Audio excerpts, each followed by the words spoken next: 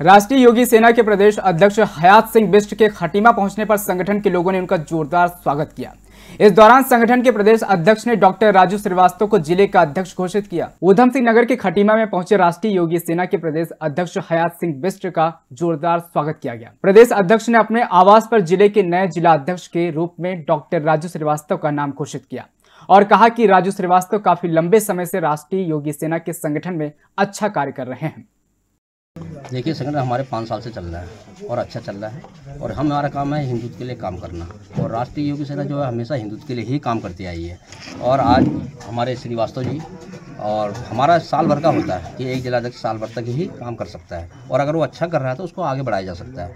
तो आज हमारे यहाँ श्रीवास्तव जी हैं तो हमने एक जो है, इनके लिए इनकी घोषणा कर दी गई है। और ये काफ़ी मेहनती काफ़ी हिंदुत्व के लिए आगे काम करेंगे। इनने वचन दिया कि हम हिंदुत्व के लिए काम करेंगे, राष्ट्रीय का काम करेंगे, अपने धर्म के लिए काम करेंगे। और मुझे गर्व है इन पर कि और इतने टीम आई और हमारे भाई लोग आए हो। हमसे इतना खुशी हुई कि आज इतने दूर से इतने इनके साथ समर्थन उन्होंने किया है। जिला अध्यक्ष का पदभार ग्रहण करने पर डॉक्टर राजू श्रीवास्तव ने कहा कि हम संगठन को मज़बूत करने का काम करेंगे और लव जिहाद में फंसने वाली बहनों बेटियों को समझाएँगे, जिससे वो लव जिहाद से बच सकें।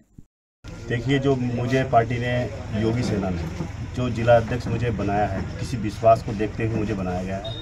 और मैं एक ऐसा काम करूँगा जो हिंदू से हिंदुत्व को जोड़े। और हिंदुत्व जो एक दूसरे की बुराई करते हैं, इस चीज़ को हम बिल्कुल ही ख़त्म करेंगे।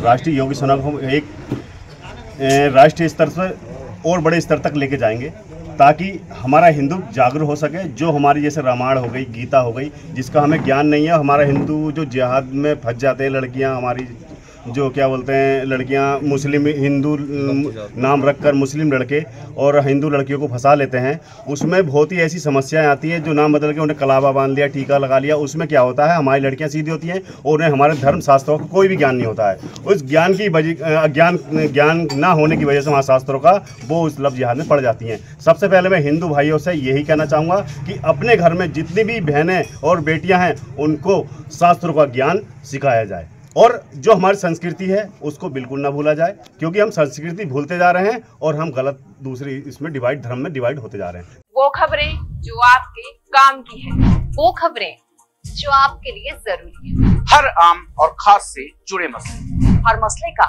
सटीक विश्लेषण। हम करते हैं सत्य का अन्वेषण। दखल न्यूज़। आपके हक में। आप देख रहे हैं दखल न्यूज़।